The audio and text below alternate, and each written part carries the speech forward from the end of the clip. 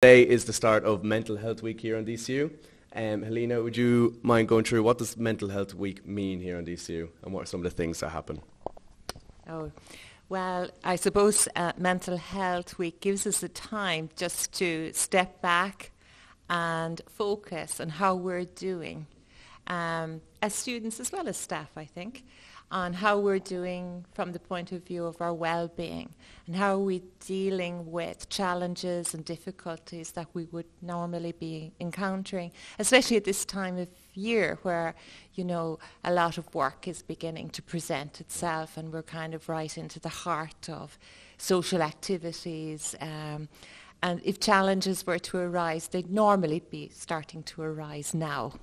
Um, and so Mental Health Week is an opportunity to step back, um, and there's various activities, including this conversation that we're having today, just to reflect on how we're doing. Is there a few things that could help us to do a little bit better? And how can we support each other? Super. And as you said, there are a lot of things coming up. People are coming to exam time. Christmas is often a stressful period for some people. And the most important thing we'll probably do today is promote the various resources and services we have here on DCU for students. So if you would mind telling us just a few of the resources and supports that are available here on DCU. So we have a number of resources, Shane. So for some people, uh, they uh, would like to go online and we have uh, the Counselling and Personal Development Service in DCU has partnered with an international global um, community called Together All. And all DCU students, undergrad and postgrad, can access Together All at any time. So it's available 24-7, 365 days a week, a, a year. And um, what is good about that is that it's anonymous. So a press, and it's moderated properly. It's linked in with the counselling service, so we, we have a communication with, with people, so it's safe. And people can access courses, for example. Uh, how am I doing on my sleep? How am I doing on assertiveness? How am I doing on anxiety? They've also um, got small group conversations that people can opt in and out of. Um, and it's really a peer-supported group online. So for some students, that can be really helpful.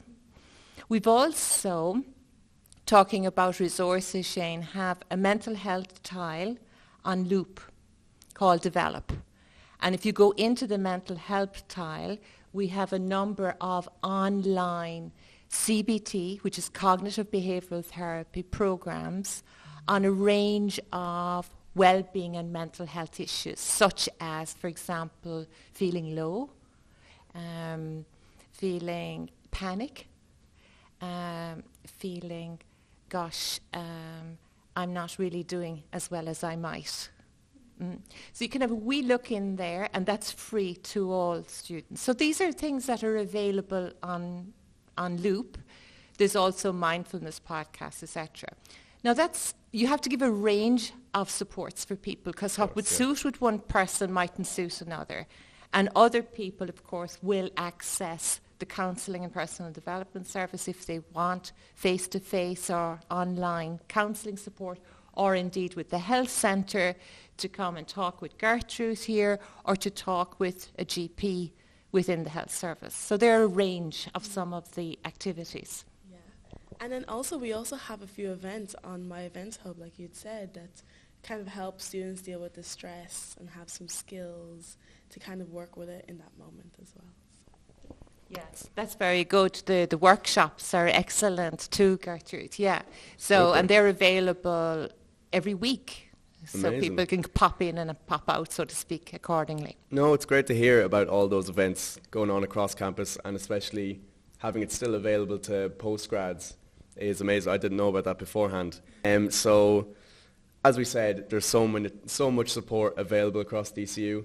But to people who think maybe going in for a face-to-face counting service might be a step too far, um, or just not right for them at the moment, what sort of coping mechanisms can they use by themselves to get over these feelings of stress or anxiety at the moment? So I work, as I mentioned, in those workshops that I would hold weekly um, on Glasnevin campus and St. Patrick's campus. Um, they're kind of, the base of them is from the CBT, which is the cognitive behavior therapy. They looked at 20 skills to kind of help people who are struggling just with their emotions, with the stressors of life, um, some skills to kind of manage that distress, right? So a few of the skills that maybe I would bring up quite a bit and kind of encourage everybody to kind of use at different points in their day in their lives would be one, the stop skill, which kind of looks at stopping, taking a breath, asking yourself a series of questions of what's going on for you, what's coming up, how are you feeling in this moment. And then the next one would be to just observe. If you took like a wide-eyed view on it, what would it have been like? What what is going on? What are you thinking about it? What would somebody else say even? And then looks at like pulling back and giving some perspective, saying, okay, if this was to happen in a few months, would I, how would I feel about it? And kind of giving it a bit of some context. And then it's just practicing that skill. So that's one of the skills called the stop skill. It's very good in that in the moment when you're having that distress, when things are just feeling a bit too much and you just need a moment to just process what's going on for me right now. So I always encourage people to use that in the moment, especially when things are just feeling quite overwhelming in that moment. Um, another skill I would always use is soothe. Um, it looks at having like a bit of a self-care box for yourself, um, whether that is taking a bath, going for a walk, meeting your friends, listening to music, or even just doing your favorite thing. Again, it could be a lovely movie from when you were younger, anything like that. So it kind of we kind of work together to kind of create your own little self-care box to be like, okay, what usually works when things go wrong? Um, people find that really helpful, especially when they're very hard on themselves. Um, so yeah, that's a really nice one to have. And sometimes students might not be aware of the support that's available to them or simply aren't ready to take that first step mm. or feel like they're not able. Why do you think asking for support is so difficult? Oh, that's a great question. Yeah, I think a lot of us at times can feel a little shy about asking for support. Uh, and sometimes it can be just embarrassing because we feel sometimes we should be just getting on with it. And what's the problem? Everybody else seems to be getting on with it. And sometimes I can make it even worse. But actually, none of us um, are islands human beings, we, ca- we can't live as an island. So it's quite normal to ask for help and support is actually a healthy thing. It's not a sign of weakness. It's the opposite, actually. But sometimes because we can identify with being, oh, we should be kind of super independent, shoulders back, march forward, which is great, but it's not the whole story. And sometimes just um, a helping hand by somebody that you can trust, that will have your back, and that could be a friend, a trusted friend, or it could be a wise person in your family or extended family or in your community, or it could be a professional service here in DCU, be it the health centre, be it the disability service, be it the counselling and personal development centre, be it the student advice centre, depending what the issue is. And Gertrude, working in the health centre, you get a chance to talk to some of these students and help them in what they're going through. What are some of the more common issues that you see time and time again? So I think the biggest one would probably be low mood, anxiety, stress with the exams, which probably hits most people, but maybe for some people it's a lot more difficult. Um, yeah, those would be the biggest ones. Yeah. Absolutely. And what are some of the usual tips you do for that you would give out for people who just have a low mood? They might not be um, at serious levels yet of anxiety, but just any sort of low mood, how would you help them? Again, I think I always go back to these decider skills. I think they're just fabulous to just help people kind of manage extreme distress or lower forms of distress. So I think it'll come back again to again, like Helena said, reaching out to your supports. again, they might not always be able to fix the problem, but they can at least be there for you in that time. Again, watch movies together, go for a meal, build some positive experiences. I think those would, would be the biggest ones, to kind of care for yourself as well. That's great. I really agree with what Gertrude is saying. And I suppose to add to that too would be sometimes we feel low when we come into a challenge or a difficulty. And when we come into that difficulty, sometimes uh, a little what's called an edge figure in us can come up and they'll give you all the reasons why you can't negotiate this new unknown terrain. So it could be that CA or it could be talking to that girl or it could be dealing with a, a conflict that happened, whatever the case may be. But if we actually back off from it, while in the short run it can make us feel, oh, relief, in the long run we don't feel very well. And if we do that a few times, we actually are not satisfied with ourselves. So the thing is, when it comes to the challenge situations or the difficulty, it is wiser to try to support ourselves to lean into the difficulty. That could be like breaking it down into small steps. It could be doing it with a friend. It could be getting advice. But the more you lean into it and take steps over and build a bridge over into that unknown, uncomfortable place, ironically, your self-esteem, our self-esteem improves. And though, even though we might feel a certain level of anxiety about it, and we definitely will because that's normal, a certain level of stress and anxiety is normal. And you're going to feel it at the edge. And we all, as human beings, have many edges. But that's the place of potential growth for all of us.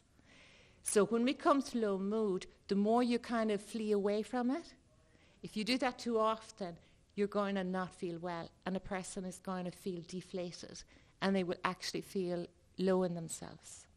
So the trick is is to recognize even those those edge uncomfortable places would be God, why would anybody want to go near anything so difficult? It actually has the diamond in the gold bu- in the in the bucket if you can lean into it as opposed to avoid it. Yeah, that's very important for everyone who's listening. I'm sure most people watching this right now are students.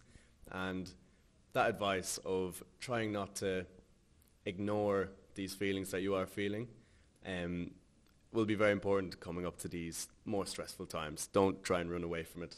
And I guess talking specifically about counselling, actually, Helena, and um, for people who don't know anything about the counselling service, could you describe, for students who aren't aware, how do you go about availing of that, or how do you go about booking a session, that okay. kind of thing? Okay. So first of all, you can come onto our website, which is dcu.ie forward slash counselling, and you'll get a fairly good idea there on, on what, how the service operates. But it's fairly straightforward. If you'd like to make an appointment, you email counselling at dcu.ie or you email um, spd.counselling at dcu.ie for St. Pat's. So we have rooms in Glasnevin and we have room in St. Pat's. Uh, and then uh, Nina or Catherine are two service administrators for the counselling service and they will help the student to register with us. And then you uh, and organise the first appointment. I suppose the, f- the most fundamental thing to say is that the counselling service is confidential. So that's really important. Uh, um, in that anything that is discussed between a student and a counsellor is confidential and stays that way. And the only time where we would discuss that with a student if somebody was seriously at risk, and that would make sense. And then it is informal. It is a conversation. It's trying to, you know, get to know the person and they to get to know us because we're obviously new to a student, even though any given year we have people who return to us. You know, so you could have in a given year you could have somebody who came to us when they were in first year and now they've just gone into their first year PhD program and they come back. Do you know, which is lovely to see.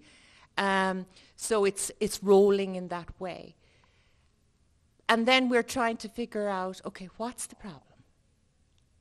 How can we unfold and unravel that? And what would best support the person? And that's basically the aim of it. But it's very collaborative and it's non-judgmental in its approach. It's not saying something is good or something is bad. It's just something is not going as well as a person might like it to be, and let's see what we can do about it. And Gertrude, I know as students, particularly people who have moved up here, they can be feeling kind of lonely and kind of separated from home. How do you deal with those feelings of kind of being somewhere new, particularly talking to the first years now at the moment, how do they deal with that kind of feeling of being separated from being home? It's a really difficult emotion to have, isn't it?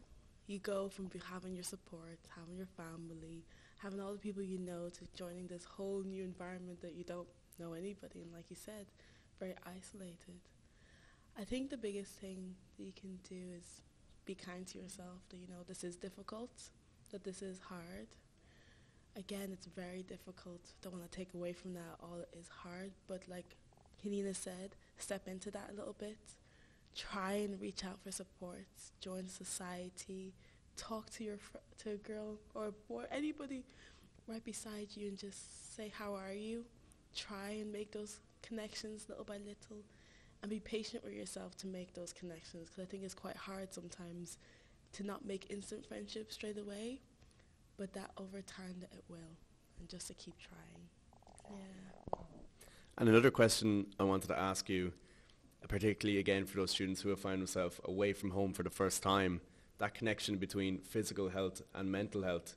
I know myself, I found myself scrolling through link, um, Just Eat and Uber Eats way too often. How important is your physical health to your mental health? Oh, that's a big one. Everything's connected, right? If you're not eating well, sleeping well, looking after yourself, even you've seen us going for a little walk as well. If you're not doing all those little things, it's going to make you feel low. You're going to, if you're feeling isolated and you're kind of cooped up in your room, thinking about it over and over again, feeling a bit more overwhelmed, it becomes so much more narrow, right? But when you kind of get out, go for a walk, your perspective, part of that stop skill is give some perspective. When you go for a walk, you're kind of getting a bit more of like a wider view of like, okay, you see people laughing, talking, okay, you could bring up some sad feelings as well. But it can also bring up some hope of like, okay, well, maybe this will happen for me soon. And again. That's really great. And uh, following what Gertrude is saying is that we have what's called a window of tolerance inside us. And it's a, a margin of ability or space. And when we don't exercise, eat, or look after some of the basic physical uh, aspects for ourselves, that window gets very narrow. And if that window gets very narrow, we're more inclined to get overwhelmed. So one of the best things is to try to keep that window as wide as possible, even when you're feeling low because the last thing you'll want to do is move when you're feeling low. But even if you can just walk around the block in small steps and build that little bit, not too much, because that will feel like too much and a person will close down shop and not want to do anything. So the thing is doing a little and that'll start to improve and build and widen that window of tolerance inside. Super. And we've talked today a lot about the different supports and facilities, different tips for people. But if you could, Helena, um, say one final thing to anyone watching right now that is in need of some help, what would you say? Wow, that's a big one. What would I say? Well, that's going to vary from moment to moment. But one thing I will say right at this moment is when we were out for a walk, just a short walk a few, you know, a half an hour ago, myself and Gertrude were having a giggle about something. And we passed two staff members and they were saying, oh, laughing here, laughing, because you're not serious. And I just thought it was sweet. And we just said, oh yeah, this is us. We're having another laugh. So I'm not trying to belittle anybody's feeling of feeling overwhelmed, but there is a lot of wisdom in having a bit of a giggle and a bit of a laugh now and again. Of course, your question, you know, you have many answers at different times, but right now that's true for me. Super. And I guess to finish off, how do people get in contact with yourself at the health centre? So if you look up uh, DCU Health Centre, it'll come up. Underneath it, you can book an appointment as well. So if you book through the health centre and you just say mental health nurse, it'll come up and I'll see it. And I'll get in contact to make an appointment. And yourself, Helena? Yeah, so you can call in either to the Counselling and Personal Development Service, which is on the Glasnevin campus in the Henry Grattan building on the ground floor, just opposite the Student Advice Centre, or you can email counselling at dcu.ie. And in St. Pat's, it's in the A block, uh, just near the church, uh, and it's also uh, in the health centre, uh, or it's spd.counselling at dcu.ie. Super. Thanks, everybody. Thanks for joining me today. Thanks, everybody, for watching. Uh, I would strongly recommend looking up all the different Health Week services and events that are going on. You can check them out on Loop. You can also check them out over on the DCU Student Union Instagram page. And if anyone feels like getting in contact, we have the two emails there, and also the DCU Media Production Society Instagram page. Send us a text. We can refer you on. And thank you all very much for watching.